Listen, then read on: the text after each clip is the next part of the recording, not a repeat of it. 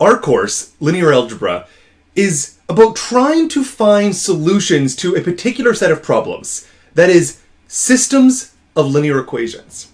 So our first task is to try to figure out what are systems of linear equations and what does it mean to be a solution of a system of linear equations. But what is kind of exciting about linear algebra is that we are going to be able to pose in our first video here precisely what the major problem that we're going to try to solve over the entirety of this course is going to be. And in fact, the problem is going to appear simple and, and modest and, and perhaps not even very exciting. But we can state it now, and we're going to see over the course of the next few months that this question that we're going to be asking, how to find solutions to systems of linear equations, provides, in fact, a very rich and deep and well understood and intuitive and geometric picture that is one of the nicest stories in all of mathematics. All right, so a linear equation is an equation that has a whole bunch of different variables. In this case, I have n of them, an x1, an x2, all the way down to an xn. But that the equation doesn't have cosine of a variable, it doesn't have a variable squared, it doesn't have e to the power of a variable. It's every variable that appears here is all raised, if you will, to the power of 1. The first variable is only occurring to the power of 1, the second variable only occurring to the power of 1, and so on. And then out the front of them, you have a bunch of coefficients, a1, a2, and an. All of these are referred to as coefficients. And then you also have this final one on the far right-hand side. This is referred to as a constant, and it's the only one that doesn't have a variable attached to it. The coefficients are all multiplied to a variable, and the constant has no variable there. So, uh, as an example of a linear equation, I could just imagine something like 3 times the first variable plus 2 times the second variable is equal to 5. All right, so that's what a linear equation is. It's a relatively simple type of equation. Now, the next question is going to be, what does it mean to have a solution to this equation? Well, a solution is just going to be a bunch of different numbers that I can plug in for the x's, specific values of the x's, and I can plug them into this equation, and I'm going to get, indeed, this value b. So, for example, if I look at the equation that we started with, this, this 3 times x1 plus 2 times x2 is equal to 5, well, I have to think about, is there an x1 value? Can I, can I make it equal to a specific number, and a specific number s1? And can I make x2 equal to a specific number, s2, such that the sum of these things are going to be equal to 5? Well, if I glance at it, I can say that if my x1 and my x2, if both of these values are going to be equal to 1, then I get 3 times 1 plus 2 times 1 is equal to 5. Now, this is not the only value that that may work this way. I, I, can actually think of a whole bunch of other pairs of x1 and x2. You can try to think of a couple of them that would add up in this way to be equal to 5. But, but this is one such solution. And indeed, one of the interesting features about linear equations is that there's often going to be more than one. In fact, there might be infinitely many. And so we are going to define the solution set to be all of the different solutions that you can possibly imagine for instance, uh, I can go by inspection and I, I, can note that perhaps if x1 was equal to 0 and x2 was equal to 5 halves, that, that this also works. That that's also a solution. And uh, the problem here is going to be how are we going to capture all of the solutions? I've got two, I can probably come up with a third and a fourth, but is there some nice way that I can try to write down all of the different solutions? So that's a question we're going to turn to.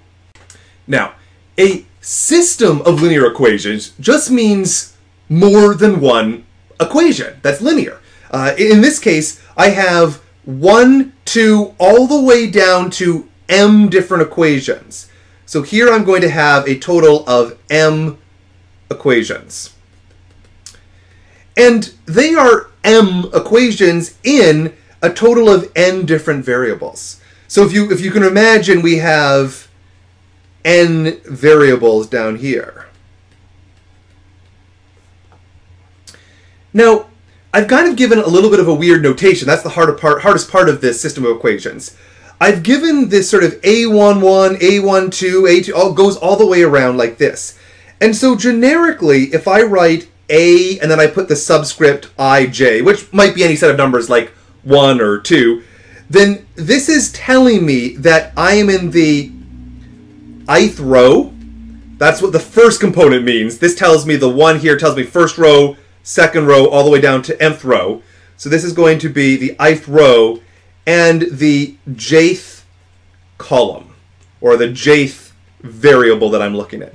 So if I look at something like A12, that's this one here, that tells me the first row because of the first component, and then the 2, which is the second of the two, tells me that I'm with the second variable or I'm in the second column. So this is my kind of like strange notation, but I do this notation just precisely so that I can keep track of everything. So here's a simple example. I could imagine x1 plus 3x2 is equal to 0, and 2x1 is equal to 5. And I'm being a little bit coy in this example. You might not think it looks perfectly right, but I have a hidden 1 that's sticking out in front of the x1. So, so in truth, this is the coefficient a11 equal to x1. And I also have a coefficient of 0 hiding out in front of this x2 over here. So for instance, I could say something like that a12, that's first row, second coefficient. In this scenario, that would just be 3. And I can figure out the other ones as well. So then if I want to consider what is a solution to a system of linear equations, well, it's the same sort of story we had before. It is going to be a list of numbers, an S1 down to an Sn. So specific values, I use S for specific, specific values of all of the different x's, such that if I plug them into my equation, every one of these equations is going to be true. And it might be the case that there's all sorts of different possible solutions, as we saw in the previous example. And so I'm going to say the solution set is referring to all possible solutions.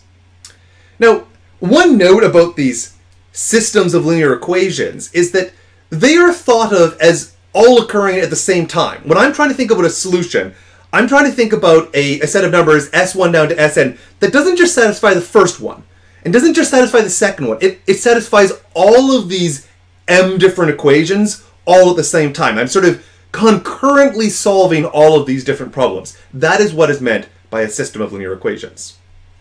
All right, so now let's turn to what is our big goal for this course.